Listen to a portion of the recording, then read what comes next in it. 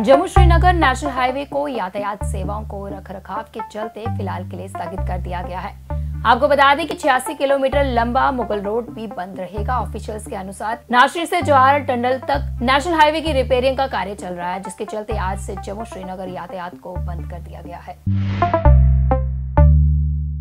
जम्मू कश्मीर में कोरोना का फिर बड़ा प्रकोप 30 फ़ीसदी तक घट गए पर्यटक। कोरोना की दूसरी लहर ने प्रदेश में पर्यटन पर असर डालना शुरू कर दिया है। पिछले एक महीने में ही सड़क मार्ग से प्रदेश में आने वाले पर्यटकों की संख्या में 30 फ़ीसदी तक गिरावट आ गई है। रोज़ाना लखनपुर कॉरिडोर पर सात से आठ हज़ार लोगों की कोरोना जाँच की जा रही थी, पर अब वहीं ये आंकड़ा गिरकर चार से पाँच हज़ार तक सीमित हो गया है।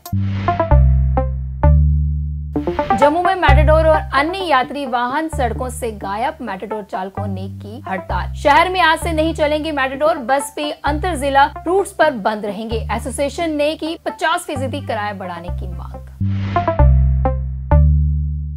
राहुल का पीएम मोदी पर अटैक, बोले, कोरोना के लिए बनाई नोटबंदी जैसी रणनीति। राहुल गांधी ने ट्वीट कर कहा कि केंद्र सरकार की वैक्सीन रणनीति नोटबंदी से कम नहीं आम जन लाइनों में लगेंगे, धन, स्वास्थ्य व जान का नुकसान झेलेंगे और अंत में सिर्फ़ कुछ उद्योगपतियों का फ़ायदा होगा। इंस्टीट्यूट ऑफ़ इंडिया ने कोविड 19 की वैक्सीन कोविशील्ड के दाम जारी कर दिया है। आपको बता दें कि इंडियन गवर्नमेंट के निर्देशन को फॉलो करते हुए स्टेट गवर्नमेंट के लिए वैक्सीन की एक डोज की कीमत चार सौ तय की गई है और वहीं प्राइवेट हॉस्पिटल के लिए एक डोज की कीमत छह सौ तय की गई है।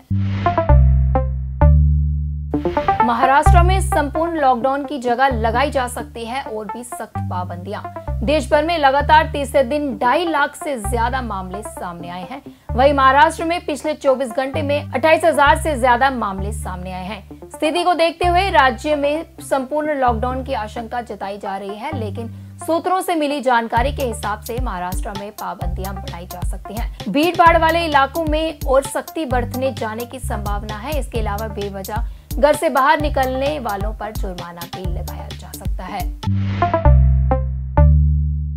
भद्रवा में पीडीडी डिपार्टमेंट से परेशान लोग रोष में। अतिरिक्त जिला भद्रवा के कई क्षेत्रों में रमज़ान के पवित्र महीने के दौरान लोगों को बिजली की कटौती का सामना करना पड़ रहा है। नासिक के अस्पताल में बड़ा हादसा। ऑक्सीजन लीक होने की वजह से 11 मरीजों की मौत।